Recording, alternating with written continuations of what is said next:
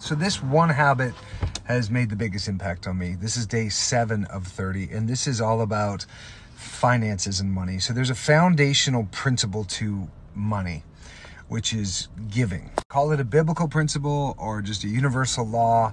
Uh, the Richest Man in Babylon is one of my favorite books, and it says 10% of your of yours, everything you earn is yours to keep. 10% you give away to God.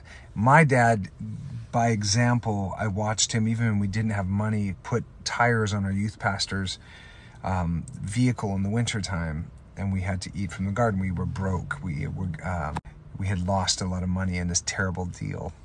Uh, but watching my dad give, even though he didn't have money, I've learned to give my way out of a hard time, not to tighten up. So if you are a vessel of giving, then money will just flow to you because you can be trusted with it. Save, save 10%, give 10%. Read that book, Richest Man in Babylon. It's amazing. Have fun.